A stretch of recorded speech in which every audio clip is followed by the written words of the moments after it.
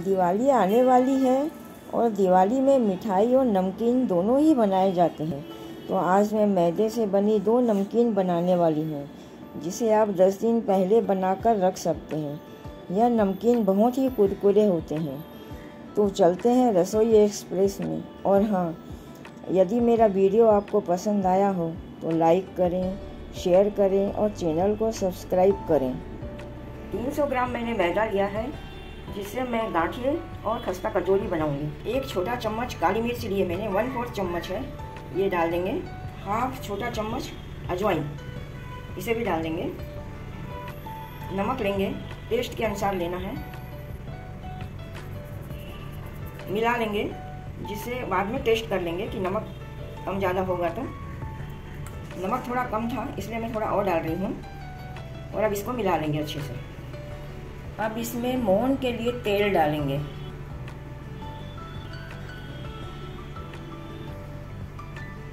पाँच table spoon तेल डाला है, अब मिला के देख लेंगे। मुठ्ठे बने, उतना तेल का मोहन होना चाहिए।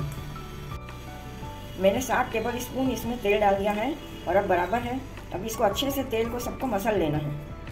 सारे मैदे में तेल अच्छे से आ जाए, इस तरह से सबको मसल लेना है। अब ये देखो, ऐसे मुट्ठी बननी चाहिए। मुट्ठी बन रही है ना? इतना तेल होना चाहिए कि मुट्ठी बन जाए। अब इसमें पानी डाल के डो बनाएँगे। थोड़ा थोड़ा पानी डाल के आटा लगाएँगे। थोड़ा थोड़ा पानी डालना है। एक साथ पानी नहीं डालना है। और टाइट आटा करना है। बहुत टाइट पूरी से भी थोड़ा टाइट ही आटा करना है इसका। बहुत ही कम पानी लगता है आटा बनाने में। ये देखो, इतना टाइट आटा होना चाहिए। ये इतना टाइट खूब टाइट होना चाहिए आटा अब इसको थोड़े दस मिनट के लिए रेस्ट में रख देंगे। ढककर रेस्ट के लिए रख देंगे। गैस में मैंने कढ़ाई रख दी है और अब इसमें तेल डाल देंगे। तेज कर देंगे। आटे को थोड़ा ठीक कर लेंगे। इस तरह से इसे थोड़ा नरम बना देते हैं, मसल लेते हैं।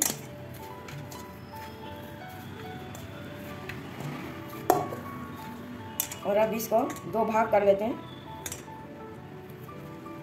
एक भाग से बनाएँगे गांठिए और दूसरे से खस्ता समोसे बनाएँगे। ऐसी बड़ी लोई ले लेंगे थोड़ी सी बड़ी। इसको अच्छे से गोल कर लेंगे और इसे बेलन से बटेंगे। इस तरह से बट लेंगे इसको। गोल बना देंगे इसका। मैदा है ना, थोड़ा खींच के बटना पड़ता है उसको। ये देख, इतना मोटा रखेंगे। अब इसको गांठियाँ काट लेंगे। चक्कू से इस तरह से पतले पतले गांठियाँ काटेंगे।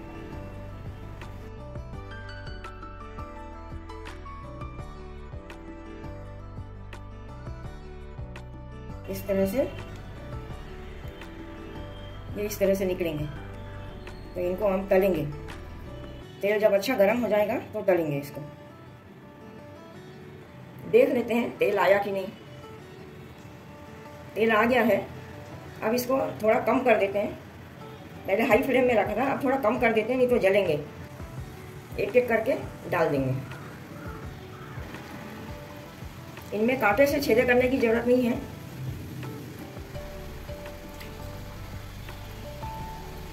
इस तरह आँच को थोड़ी धीमी रखेंगे। क्योंकि पहले हाई फ्लेम में था, अच्छे से गर्म किया ना, अब आँच को कम रखेंगे और इसे ब्राउन होते तक तलेंगे। धीमी आँच पर ही तलना है। नहीं तो क्या बाहर से ब्राउन हो जाएँगे और अंदर नरम रहेंगे। अपने को कुरकुरे बनाने हैं। पलटते जाना है ताकि आगे पीछे सब तरफ़ से ब्राउन हो जाए। गांठे तल रहे हैं, जब तक अपन समोसे की तैयारी कर लेते हैं, खस्ता समोसा बनाने की। इसके लिए ऐसे छोटे छोटे से लोहे बनाएँगे, इस तरह से तोड़ लेंगे। इस तरह से हाथ से तोड़ लेंगे, चक्कू से भी तोड़ सकते हैं। और फिर चक्कू से ऐसे भी कर सकते हैं छोटे छोटे से।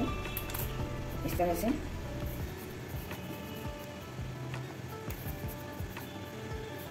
ऐसे बना लेंगे। मैं बना के रखती हूँ सब।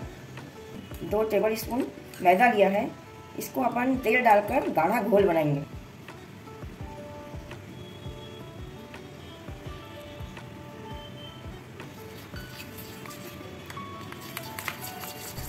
इस तरह से बना के रख देंगे।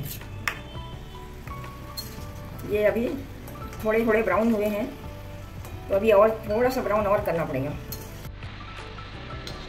ये देखो ब्राउन अच्छे से हो गए ना, यही ऐसा ही ब्राउन चाहिए। अब निकाल देंगे, इससे ज़्यादा नहीं रखना। जो लोया बनाया था, उसकी पतली सी पूड़ियाँ बेल लेते हैं। इस तरह से पतली बेल लेंगे पूड़ियाँ। ये मैंने बेल ली है। अब इसमें ये जो अपन ने घोल बनाया था, तेल और मैदे का, इसमें लगा देंगे। और इसे समोसों का रूप दे देंगे ऐसे फोल्ड कर देंगे। इस तरह से फोल्ड कर देंगे। अब अब इसको इस तरह से बेल लेंगे। थोड़ा पतला ही बेलेंगे।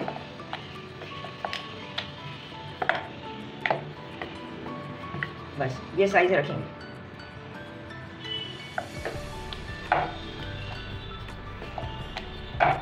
मैं इस तरह से सब बेल के रखती हूँ। अभी जो खस्ता समोसे बनाए थे, इन्हें तलने के लिए डाल देते हैं। इन्हें भी धीमी आँच में तलना है।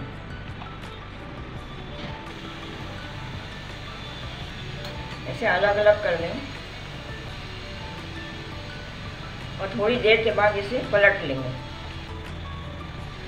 एक बार पलट लेते हैं।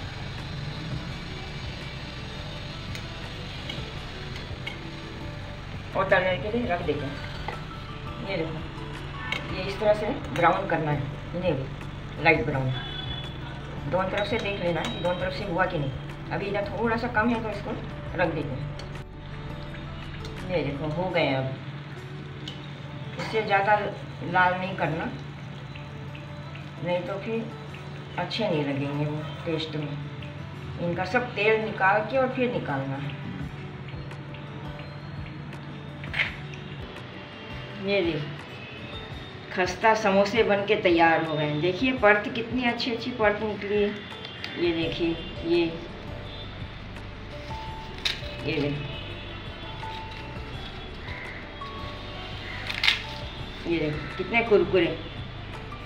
तो ये भी चाय के साथ में बहुत ही अच्छे लगते हैं और इनसे चाट भी बनाई जा सकती है।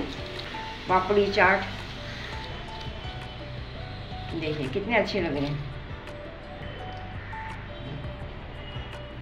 गांठिए सब बनकर तैयार हो गए हैं। देखिए, कितने अच्छे लग रहे हैं। और इनको देखो ऐसे कितने अच्छे कुरकुरे हैं। ये देखिए।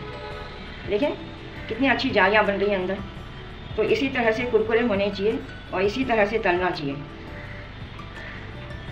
इसे आठ दिन तक रख सकते हैं। एयर टाइट बर्तन में रखना जिसे ये आठ दिन चलेंगे नरम नहीं पड़ेंगे। और इन्हें त्यौहार वगैरह में बना के रख लो। और चाय के साथ मेहमानों को आए तब आराम से इसे दे सकते हैं। ये बहुत ही टेस्टी लगते हैं। मैदे के गाठिये और मैदे के खस्ता समोसे। तो आप ज़रूर बनाओ एक बार।